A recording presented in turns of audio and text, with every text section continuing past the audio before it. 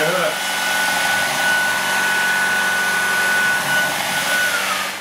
Und schauen mal, wie er jetzt mit diesem Wust hier klarkommt. Bob. Ja, hallo Freunde, lasst uns heute einmal hier über den Shark Detect Pro sprechen. Ein Staubsauger mit einer Absaugstation, so dass ihr ihn nicht mehr selber entleeren müsst und nur ab und zu mal hier in der Station den Schmutzbehälter entleeren müsst. Detect Pro nennt sich das Ganze und zwar Detect Pro. Warum? Weil ihr jede Menge Erkennungen habt, also eine intelligente Düse, entsprechend also Schmutzerkennung, dann einmal Eckenerkennung, habe ich schon ausprobiert, funktioniert wirklich erst rein, dann einmal die Bodenerkennung, ob Teppich oder Hartboden und dann einmal Light Detect, also dort, wo es dunkler wird, schaltet er das Licht dann entsprechend auch nochmal hoch. Ja, was gibt es noch zu sagen? 399 Euro, sowohl auf der Shark Webseite als auch eben auf, äh, auf der Amazon-Seite zum Beispiel.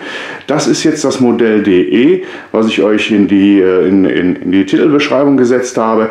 Es gibt auch das Modell EU, aber die unterscheiden sich nicht, sind also identisch, nur dass hier eben halt vieles auf Deutsch draufsteht und Französisch und bei dem anderen eben halt Englisch. Das ist der gesamte der ganze Unterschied. Ansonsten sind es identische Geräte.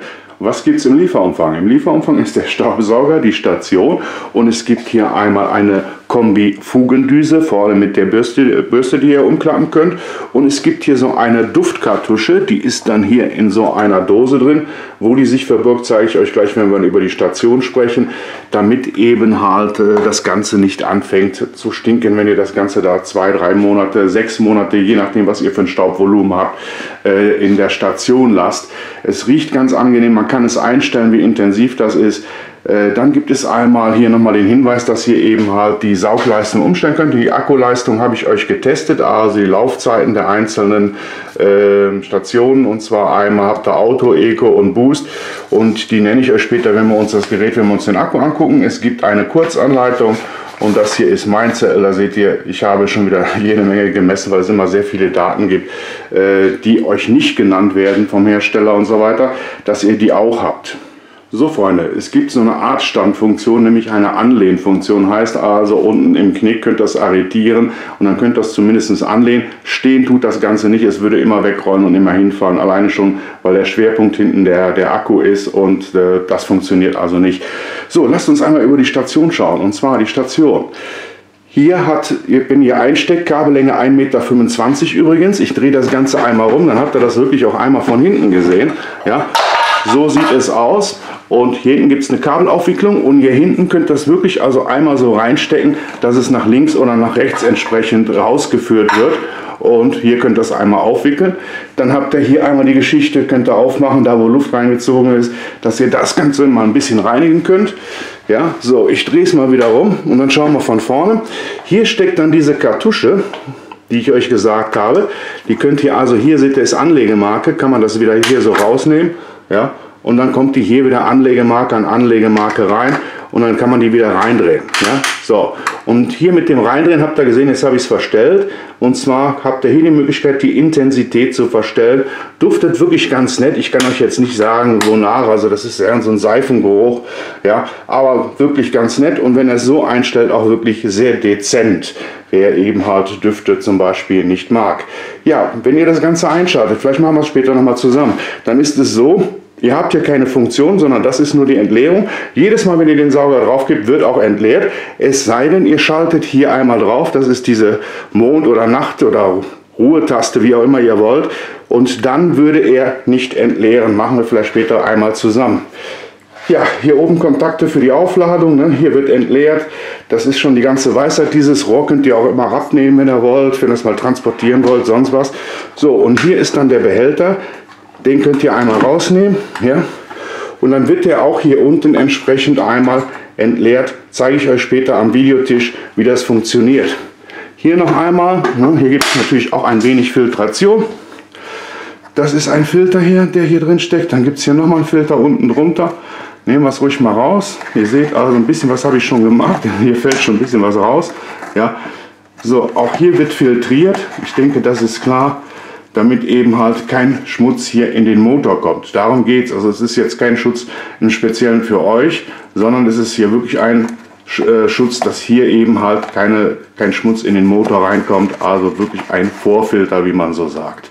So, könnt ihr wieder reingeben. Deckel wieder drauf. Hier, wie gesagt, Ansaugstutzen entsprechend.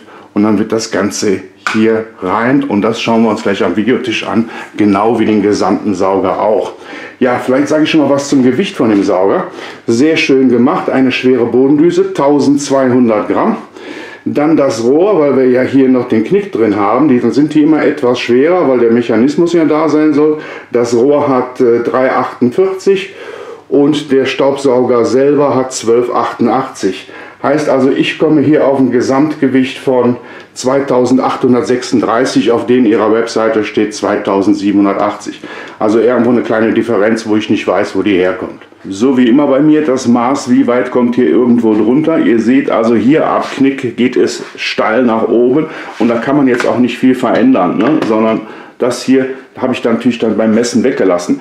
Der höchste Punkt bildet wie so oft hier entsprechend das Gelenk von der Düse und das sind 7 cm und von hier gerechnet bis dort, bis wo ihr tatsächlich drunter kommt, äh, habt ihr 70 cm, also 7 cm Höhe, 70 cm kommt ihr drunter. Okay. So, was braucht ihr für ein Stellmaß hier für die Station mit dem Sauger drauf? Äh, das habe ich mal für euch gemessen und zwar in der Höhe sind es 111 cm.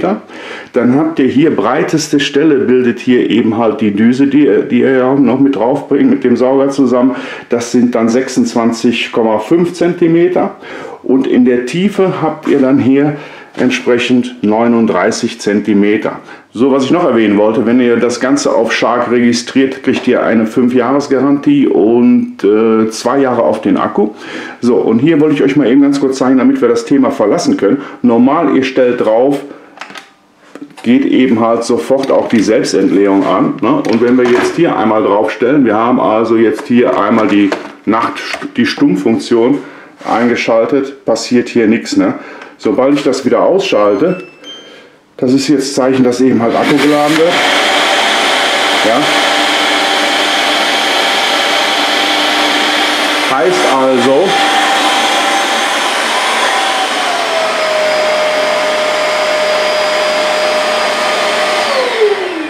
Heißt also in der letzten Konsequenz, wenn ihr es eben halt in diesem äh, Nachtmodus aktiviert habt und ihr schaltet den wieder aus, würde er dann entleeren. Ne? Das ist das, was ich euch einmal zeigen wollte. Okay, machen wir weiter mit der Station. So, diese Station ist ja nichts anderes wie nochmal zusätzlich ein Staubsauger mit Filtration und deswegen gibt es immer den Vormotorfilter, den ich euch gerade gezeigt habe, diesen äh, zweigliedrigen Filter, einmal oben der dicke Schaumstofffilter, dann darunter einmal äh, noch der Stofffilter und da muss hier natürlich eine Filtration sein, damit hier nichts mehr rausgeblasen wird und das heißt also hier steckt ein weiterer Filter und hier steht schon Down, ja, dass man das Ganze einmal runterzieht und dann habt ihr hier eben halt den sogenannten HEPA-Filter, Papierfilter, wie auch immer ihr wollt, ja, der eben dafür sorgt, hier sollte natürlich nichts mehr ankommen, dass da eben kein Staub mehr in den Raum geblasen wird. Schauen wir mal, machen wir es einmal wieder back. So, ja, rastet wieder ein und auch das hier ist selbsterklärend. Also das ist vom, vom Handling alles schon tiptop, also passt. Ja, auf die Behälterentleerung trifft das auch zu, auch total simpel. Ne? Ihr könnt den Behälter jederzeit abnehmen. Das Ganze wird hier durch Dichtungen abgedichtet und hält so entsprechend äh, drauf. Und dann habt ihr hier an der Seite einen Knopf und den betätigen wir jetzt einmal und dann sollten wir hier ja, entsprechend in die Entleerung kommen. So sieht das Ganze von innen aus. Ich zeige es euch mal, ich mache mal ein zusätzliches Videolicht an, weil das ist ja immer das Interessante, das könnt ihr euch vielleicht im Laden dann nicht angucken. Ja, und dann seht ihr, auch hier ist schon ein bisschen was im Vorfeld da drin, weil ich gestern schon mal den Akkutest gefahren habe für euch. Die Akkutests, also insgesamt drei. Ja, hier ist nochmal so ein Metallvorfilter, alles abgedichtet rundum. Also das sieht sich auch alles sehr gut an. Und wie gesagt, Entleerung einfach festhalten an einer Seite, dann hier Knopf drücken und dann dementsprechend geht das Ding auch schon nach unten hinauf. Passt. So, dann machen wir es nochmal, damit ihr seht, dass es hier kein Zielschießen ist. Rein und fertig. Also vom Handling her wirklich alles top. So Freunde, dann hier nochmal unsere Fugendüse. Seht ihr hier, also könnt ihr dann, ne, ist also hier wirklich mal straff gemacht. Bei vielen ist es so, da ist das so locker, da fällt das hier dann auch bei, direkt schon beim Saugen. Bei meinem Philips ist das auch so, dann fällt das Ding immer runter und so weiter. Also hier könnt ihr das wirklich straff arretieren und hier arretieren. Und die Geschichte passt natürlich sowohl als dann auf das Rohr, als auch auf den Sauger. Ne? Entsprechend auch so, dass das auch mit Rohr fahren könnt, wenn ihr hinter die Couch müsst oder sonst was, äh, um da mal ein Beispiel zu nennen. So, schauen wir uns unsere Düse an. Ja? Also, 1,2 Kilo, deswegen liegt die natürlich super auf. Wie sage ich immer wieder, also alles was zu leicht ist, alles was sich irgendwo so bei 600, 700 Gramm bewegt, könnt ihr meistens äh, äh, vergessen, liegt da nicht richtig auf. Kann man auch benutzen äh, für Hartböden oder sonst was, aber gerade bei Teppichen ist das dann Unfug. So, einmal unten drunter geschaut. Also hier oben sieht nett aus. Hier gibt es eine LED-Beleuchtung, die werdet ihr später noch sehen. Die zeigt mir aber doch etwas arg in die Höhe ne? und nicht fixiert am Boden. Die müsste normalerweise hier und dann runter zeigen, aber wird schön ausgeleuchtet trotzdem. So Leute, hier hinten Flexibilität, das habe ich euch gezeigt. Ne? Das ist wirklich sehr straff aber es reicht nicht, um den Staubsauger eine Standfunktion äh, zu geben, weil eben halt ne, hier die Räder drunter sind und er immer nach vorne dann abschmiert. Ne? Das ist das äh, Problem, also er geht nach vorne weg. So Leute, dann einmal hier geschaut, ihr seht schon, hier gibt es einen Knopf. Dann könnt ihr hier hergehen und die Walze einmal komplett rausnehmen, ja, über diese Führung hier und auch hier wieder entsprechend reingeben, einfach wieder schließen, alles ist gut. Ja. So, dann haben wir hier unten einmal die Räder und zwar hier vorne gummiert, Leichtgummierung, ja, ist da. Ja, hier hinten gummiert, damit eben alles da. Wenn man nicht zu weich sein, dann würden sich hier äh, Partikel reinsetzen. Das soll nicht zu hart sein, dann äh, beschädigt ihr euer Boot. Alles ist gut. Die Walze, seht ihr schon, ist eine Stoffwalze, die aber hier entsprechend das, was wir beim letzten Mal hatten, ich glaube bei dem Dibea Akkusauger, den ich euch vorgestellt hatte, wo diese Lippen fehlen und wo hier diese Borsten viel zu weich waren. Das hier, ist, sind, die sind auch relativ weich, haben aber so einen Härtegrad, wenn wir, wenn wir von 5 bis 10 nehmen, also 10 gleich sehr hart und 1 gleich sehr weich, dann liegen wir hier irgendwo bei einer 5. Und damit erreicht man das zumindest mal, dass man auch von der Oberfläche vom Teppich die Haare und so weiter rausgeht. Also sehr schön gemacht alles. Ja, Läuft also so, nimmt eben halt mit den Lippen hier entsprechend auch von der Oberfläche die Sachen weg und dann hier ist nochmal zusätzlich eine Bürste.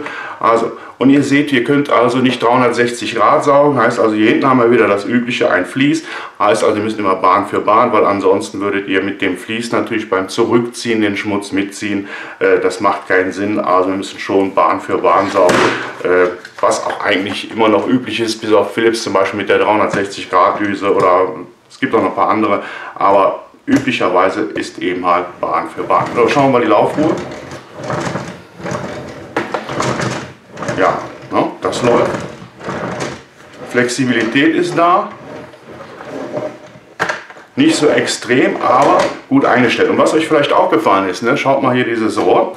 Das ist, und schaut mal dieses Rohr. Man setzt eben halt hier auf eine Komprimierung, heißt also äh, sehr große Partikel, ne, bekommt ihr nicht rein und es könnte sich eventuell mal festsetzen, wenn ihr jetzt extrem viele Haare habt oder sonst was, aber es ist unwahrscheinlich. Wir machen hier wieder einen Härtetest gleich.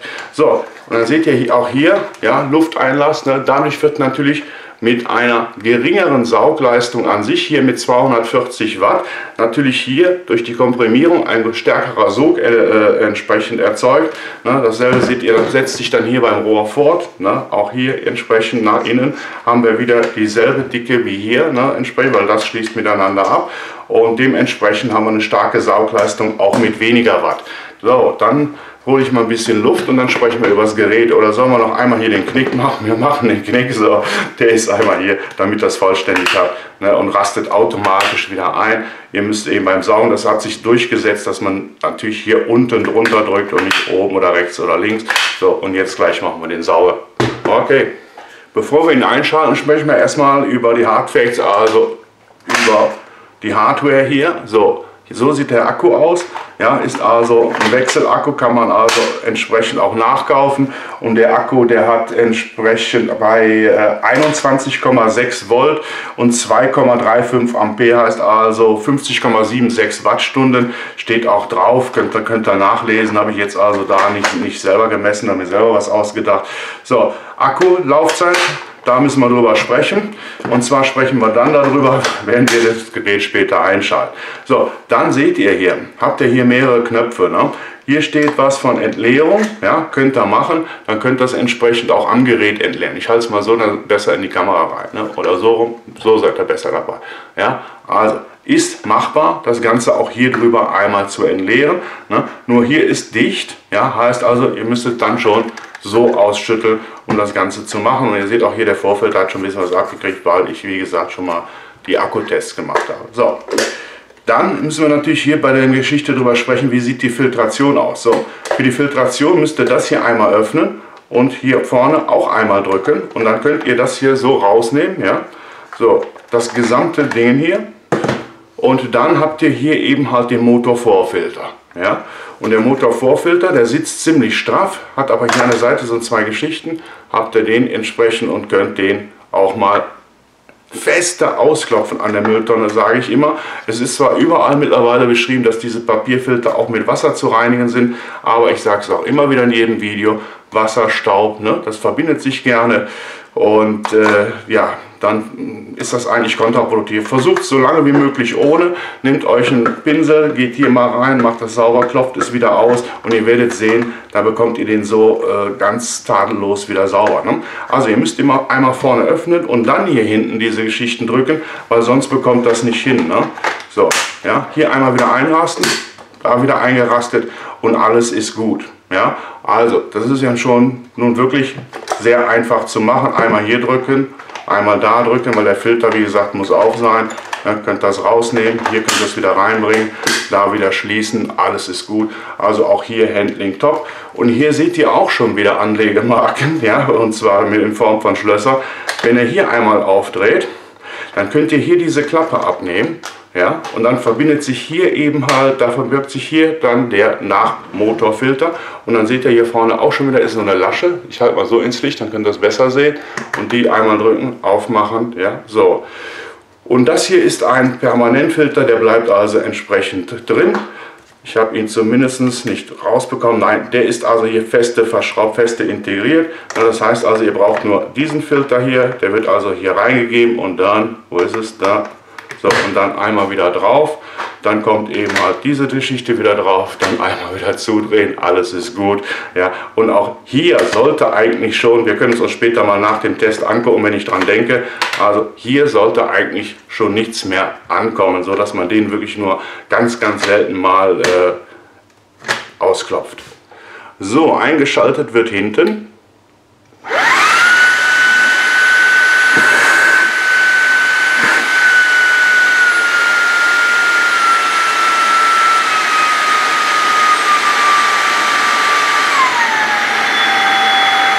Das ist die Eco-Stufe. Turbo.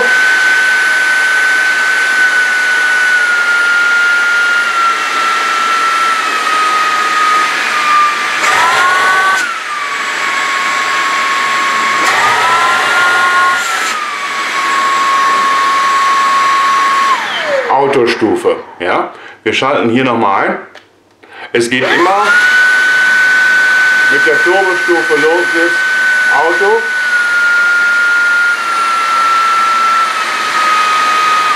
Abschaltung, Einschaltung. Ja, ihr seht, dass es komischerweise immer mit der Turbostufe losgeht.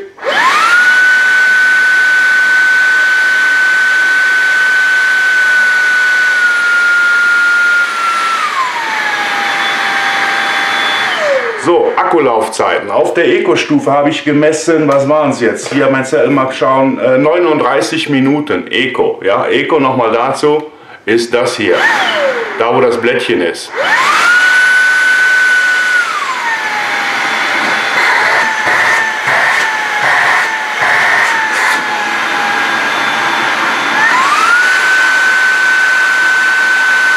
So, das war Turbo und Turbo kommt hier 11 Minuten weit.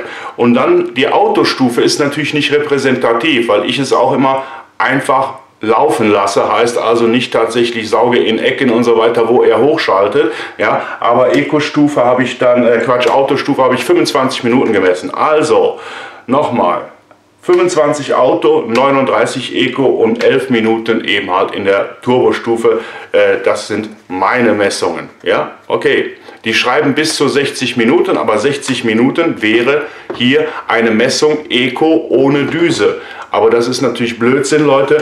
Was ich immer mache, laufendes Gerät natürlich mit Düse heißt also die Praxis, ja. Das ist das, was in meinen Test kommt. Steht aber auch unten bei denen drunter Sternchen gemessen mit Gerät ohne Düse. Also insofern, so, das gerade hat mir keine Ruhe gelassen. Deswegen habe ich jetzt mal hier die Düse drauf gebracht. Und wenn ihr das einschaltet mit Düse,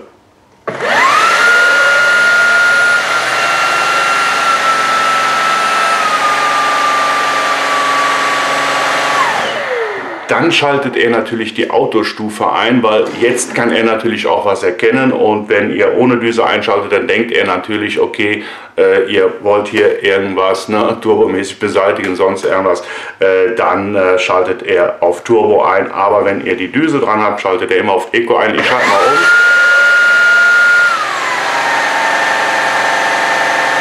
Sorry, nicht auf Eco, sondern auf Auto. Wir schalten nochmal ein. Ja. Ihr seht, ihr ist in der Autostufe. Ne? So, wer es als Handsauger nutzen möchte, der ist natürlich hier super bedient, weil das Teil dann super, super leicht ist. Ja, da habt ihr ja gemerkt an den Gewichten. Ne? Das Schwere bei dem Gerät ist die Düse. Wir schalten hier mal ein.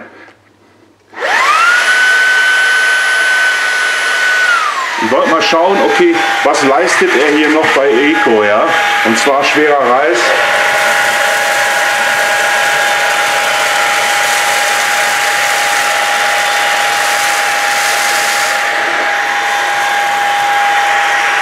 Ja, also, das hat wunderbar funktioniert. Und jetzt können wir mal schauen, ob wir den auch so entleeren können. Ne?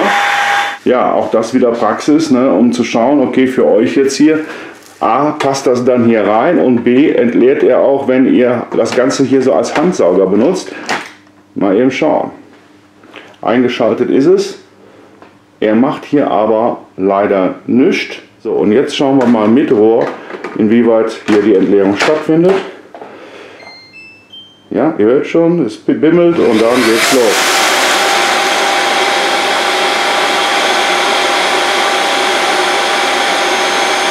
So Freunde, ich habe Schmutz und lichttechnisch wieder alles gegeben, damit ihr das Ganze jetzt nachvollziehen könnt. Da hinten habe ich noch einen anderen Camcorder hingestellt, das nur dazu. Bringe ich euch zum Schluss, hänge ich an das Video dran, wenn ich mich schon verabschiedet habe, dann habt ihr noch für diejenigen, die wollen, noch eine andere Perspektive. Eben habe ich euch ja abgehangen ne? und dann ist es so, später geht der, was das Lüften anbelangt, etwas eine Stufe niedriger, zieht also nicht mehr so fest. Und dann sind auch hier aus der Ecke diese Reiskörner noch mit reingezogen worden. Wollte ich euch sagen, okay Leute, lasst uns hier loslegen. Und zwar gehen wir natürlich hierher und benutzen jetzt die Autostufe. Ich denke, das ist klar. Wir schalten einmal ein. Das geht also wirklich einhändig. Hm? Wir warten mal einen Moment, bis er sich hier reguliert hat. Und wir fangen mit dem Teppich an. Ich schalte nochmal ab. Ihr seht, dass ich da wirklich diese Hundehaare reingerieben habe. Dieser Teppich lag jetzt hier so ein paar Tage ungesaugt unten bei uns im Flur vor dem Eingang. Könnt ihr ja sehen anhand der Tannennadeln. Dann noch ein bisschen Reisauge und da müsste sehr viel Tiefenschmutz drin sein. Ich denke, wir werden aber aufgrund der Kapazität, ich meine, es wären um die 400 äh, Milliliter, die hier reingehen, äh, natürlich wahrscheinlich zwischendurch mal entleeren müssen. Ich lege mal einfach los.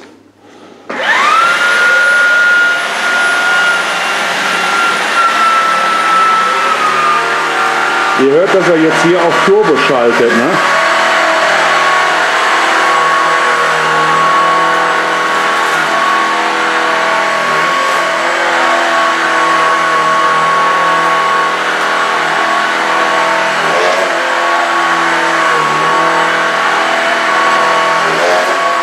Aber er holt es raus, ne? Ihr seht das. Gerade beim Zurückziehen nochmal hier, wenn ihr mit der Walze das macht. Also starke Leistung. Ich, hoffe, ich bin noch zu verstehen, weil er natürlich in dieser Stufe sehr laut ist. Ne?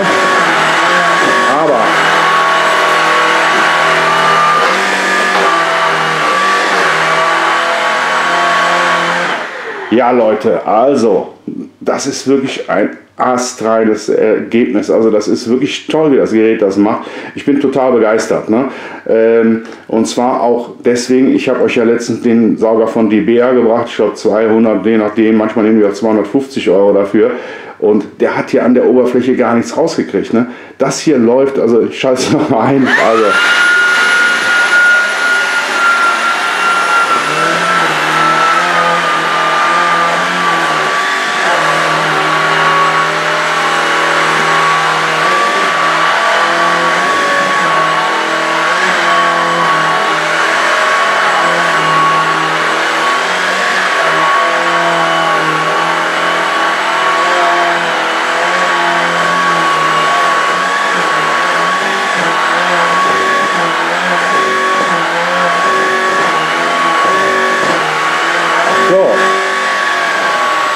er schaltet wieder runter, merkt ihr. Ne?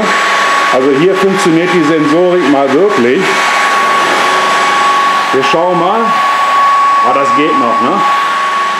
Okay, dann gehen wir jetzt einmal über den Hartboden und ihr seht, bei Hartboden ist er schon auf Eco, ne? Weil mehr braucht er da nicht, das erkennt er.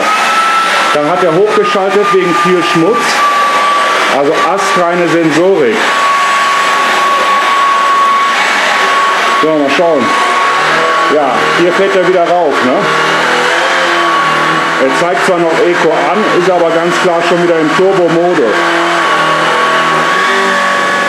So, okay, dann sagen wir...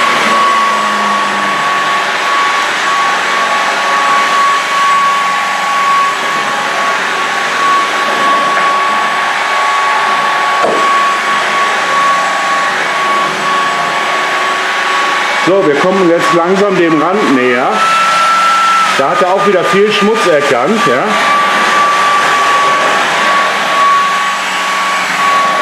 So, und jetzt schauen wir mal, was er macht, wenn wir an den Rand gehen.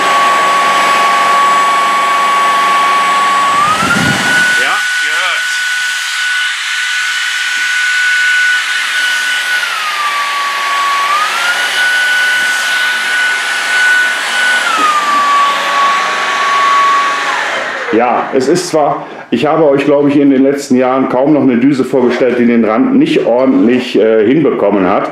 Äh, also bekamen die alle hin. Aber hier wird wirklich nochmal hochgeschaltet Turbo, ne?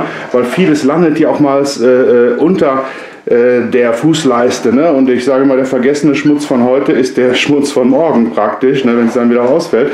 Also der zieht hier wirklich alles raus. Und den Teppich hat er super hingekriegt. Ihr seht, das hier ist also ein Farbfleck. Das ist also nichts irgendwas, was er nicht rausbekommen hat. Ja, also gefällt super gut. Wir wollten noch nach dem Licht schauen. Was passiert denn jetzt, wenn wir da unten in so einen dunklen Bereich gehen? Ist das Licht dann besser? Wir gehen einmal hierher. Schalten einmal ein.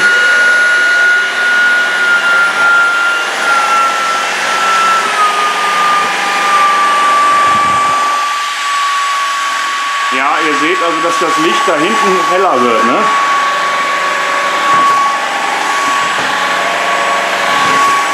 Also auch das, ihr seht hier, aufpassen, jetzt wird es hell, ja? Wir ziehen nochmal zurück, er dunkelt wieder ab, ne?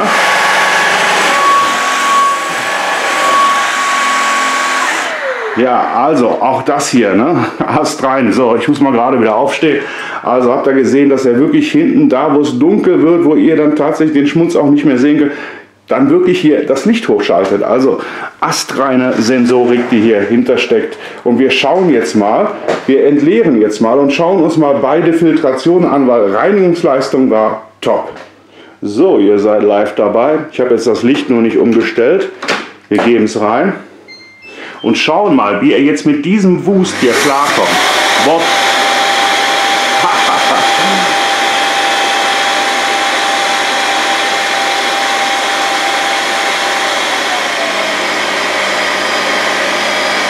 Ja? Und wenn er jetzt runterschaltet und hier unten würden noch Reiskörner oder irgendwas liegen, dann nimmt er die ganz zum Schluss noch mit. Ne? Und ihr habt gesehen, wie er diesen riesen Pfropfen, den du sonst da von dem Metallfilter teilweise runterkratzen musst, wie der das platt war das Ding weg. Also, und jetzt schauen wir mal, wie sieht die Filtration hier bei beiden Teilen aus. Ist da irgendwo was rausgekommen hinten oder sonst was? Äh, schauen wir mal. Ja, schauen wir uns vielleicht zunächst vor dem Sauger einmal die Düse an. Was hat die denn jetzt hier so abbekommen? Und zwar nichts, ne? Ja, ich halte euch mal näher rein.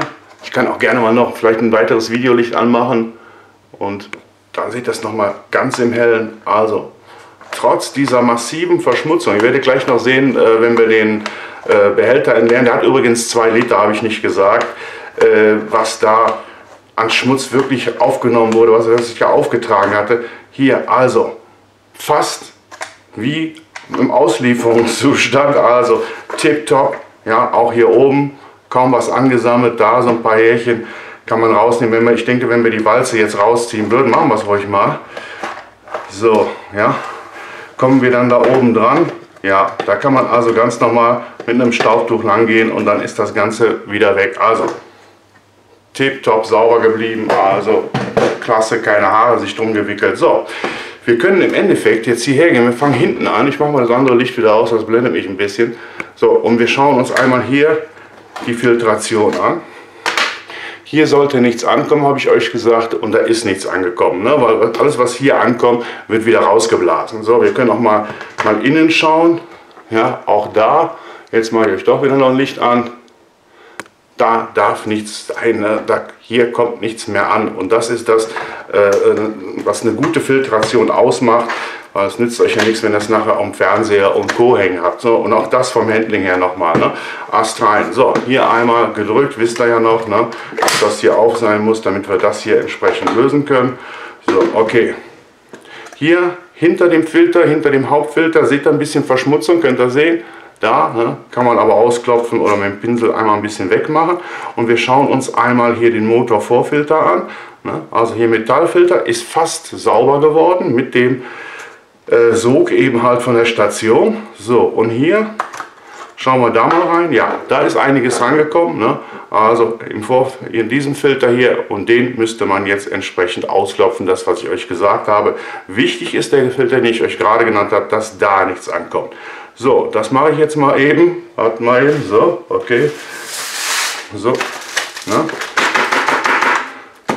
Dann seht ihr aber auch hier, ne, was also den feinen Schmutz anbelangt, ist ja klar in so einer Schmutzfangmatte. Ja, so. Ne?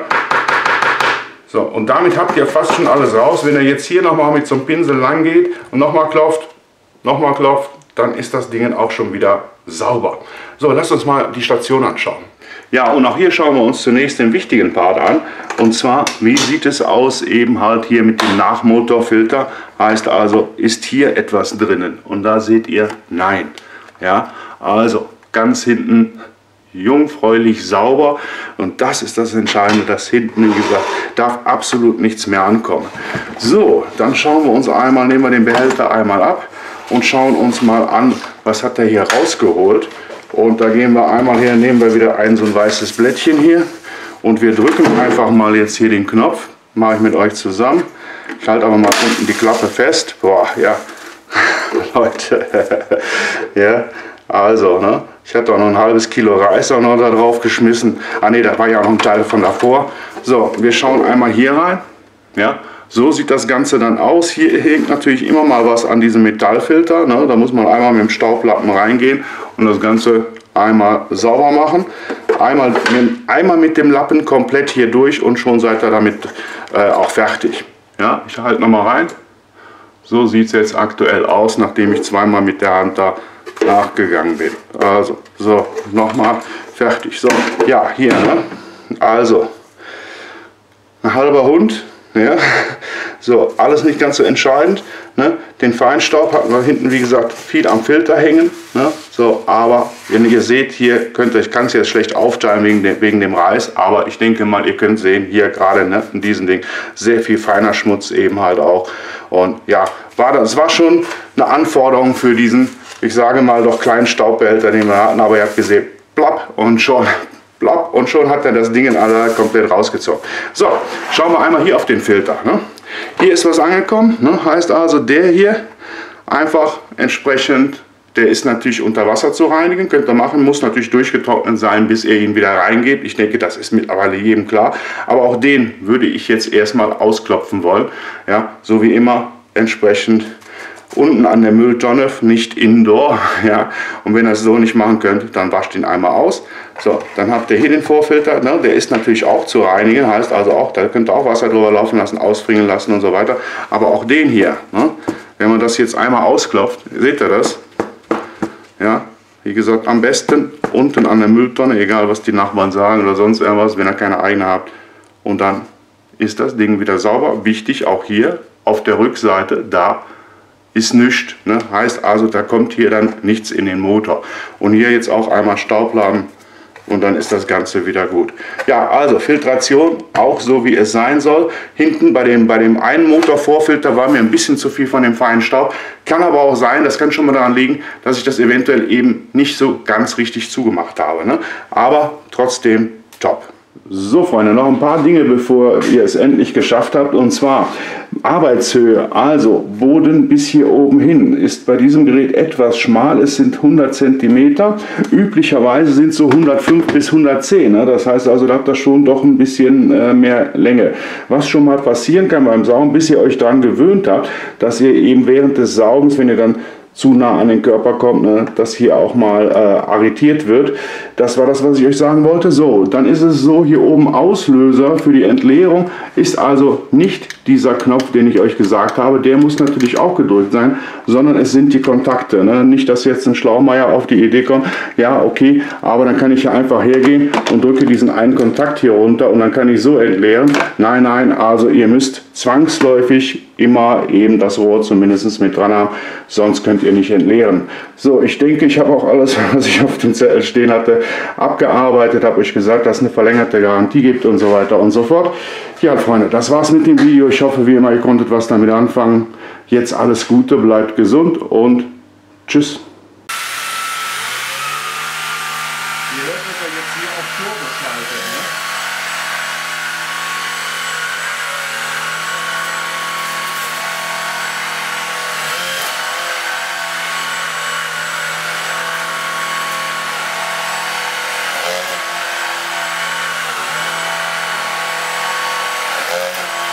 Aber er holt es raus, ne? Ihr seht das. Gerade beim Zurückziehen nochmal, wie ihr mit der Reife hört, ne? Wow, also starke Leistung. Ich hoffe, ich bin noch zu verstehen, weil natürlich die dieser Stunde sehr laut ist. Ne? Aber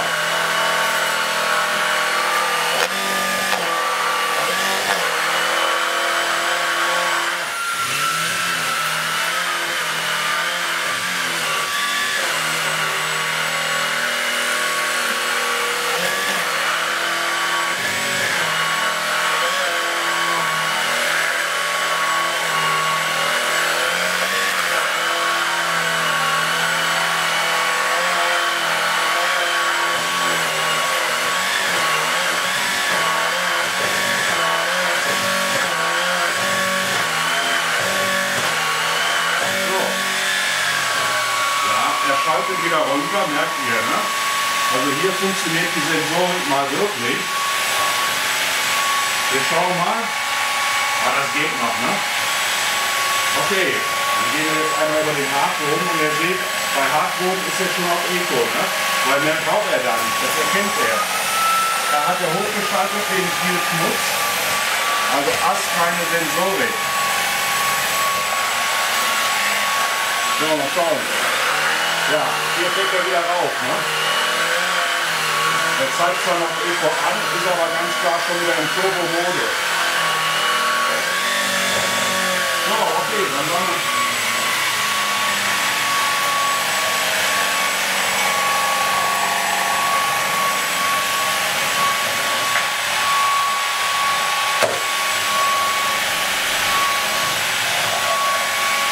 So, wir kommen jetzt langsam dem Rand näher. Da hat er auch wieder viel Schmutz weggegangen. Ja?